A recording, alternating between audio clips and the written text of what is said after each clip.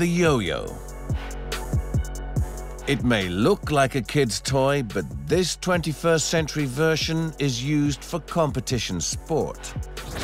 How does this device pull off gravity-defying tricks and effortlessly return to your hand? Deceivingly simple on the outside, this miniature machine is packed full of surprises. Silicone O-rings grip the string to accelerate the spool. Precision-balanced aluminium rims produce extra spinning momentum that rotates the yo-yo as fast as the blades of a jet engine. An intricate ring of ball bearings cut friction and make impossible tricks possible.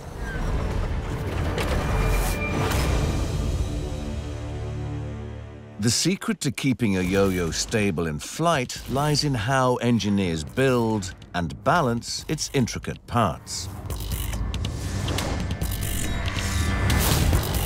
Workers at this Florida factory must distribute the yo-yo's weight evenly on both sides. First step, cast two identically shaped halves.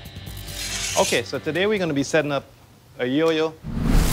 Master craftsman Arnold has spent seven years building yo-yos. He forms the two halves of the yo-yo inside precision-engineered brass molds. This is your mold and your mold is going to be filled with melted plastic that is going to form the yo-yo.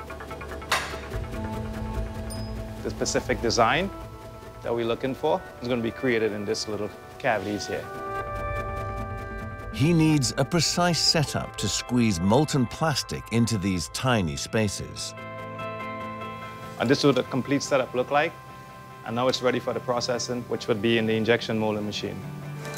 Arnold's mold must withstand 80 tons of pressure to prevent any injected plastic leaking out. It weighs over 200 kilograms.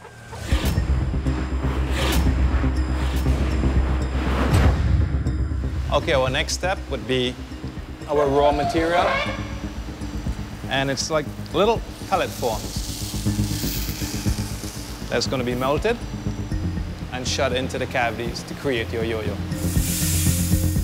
The machine melts the pellets at 260 degrees. He then pumps the molten plastic into each cavity.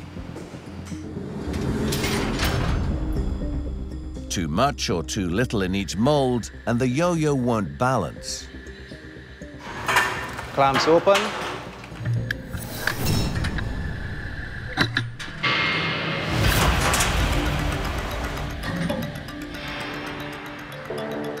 If you look at these, this is what you're looking for. Perfect finish.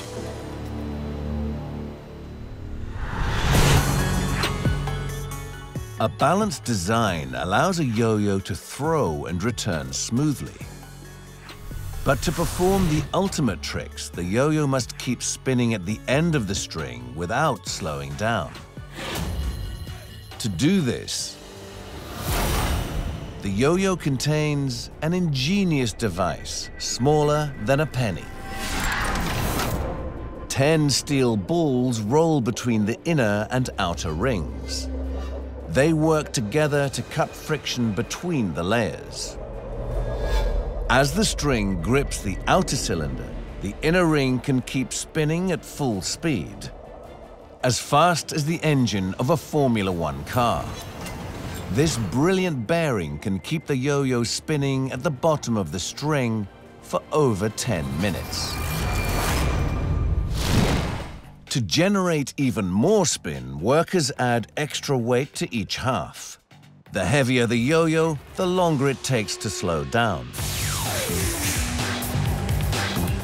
These are for the outside of the yo-yo to give it more weight for the stronger spin and better play. Peter uses aircraft-grade aluminium to sculpt special metal rims. They must be accurate to one-tenth of a gram so the finished yo-yo spins true.